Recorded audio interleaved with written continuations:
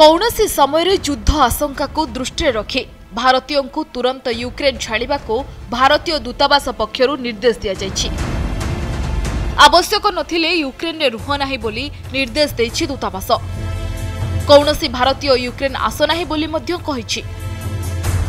ଯେଉଁମାନେ ୟୁକ୍ରେନ୍ରେ ରହିଯାଉଛନ୍ତି ସେମାନେ ଭାରତୀୟ ଦୂତାବାସ ସହ ଯୋଗାଯୋଗରେ ରହିବାକୁ କୁହାଯାଇଛି। ବିଶେଷ କରି ବିଭିନ୍ନ ବିଶ୍ୱବିଦ୍ୟାଳୟ କି କଲେଜରେ ପଢୁଥିବା ଛାତ୍ରଛାତ୍ରୀମାନେ ଅସ୍ଥାୟୀ ଭାବେ ଦେଶ ଛାଡ଼ିବାକୁ କୁହାଯାଇଛି। ୟୁକ୍ରେନ୍ ଭିତରେ ମଧ୍ୟ କିଏ କୁଆଡ଼େ ଯିବା ଆସିବାକୁ ବାରଣ କରିଛି ଦୂତାବାସ।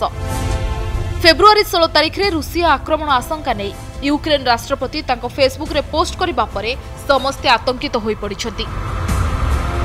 ଗୁଜରାଟର କିଛି ଛାତ୍ରଛାତ୍ରୀଙ୍କ ପିତାମାତା ମୁଖ୍ୟମନ୍ତ୍ରୀ ଭୂପେନ୍ଦ୍ର ପଟେଲଙ୍କ ନିକଟରେ ପହଞ୍ଚି ତାଙ୍କ ପିଲାମାନେ କିଭଳି ଘରକୁ ଫେରିବେ ସେ ନେଇ ଅନୁରୋଧ କରିଛନ୍ତି। ଏବଂ ତୁରନ୍ତ କେନ୍ଦ୍ର ସରକାରଙ୍କୁ ଏ ବାବଦରେ ଜଣାଇବାକୁ ସେମାନେ ମୁଖ୍ୟମନ୍ତ୍ରୀଙ୍କୁ କହିଛନ୍ତି। ପାଖାପାଖି ଅଠର ହଜାର ଛାତ୍ରଛାତ୍ରୀ ୟୁକ୍ରେନ୍ରେ ପାଠ ପଢୁଥିବା ଜଣାପଡ଼ିଛି।